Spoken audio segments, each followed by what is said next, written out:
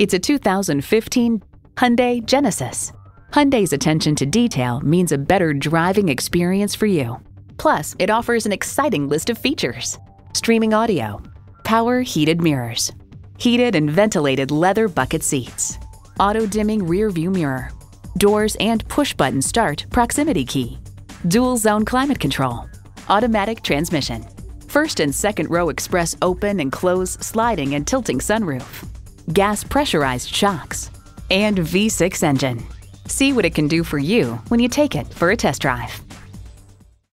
We're conveniently located at 3400 Highway 61 North in White Bear Lake, Minnesota.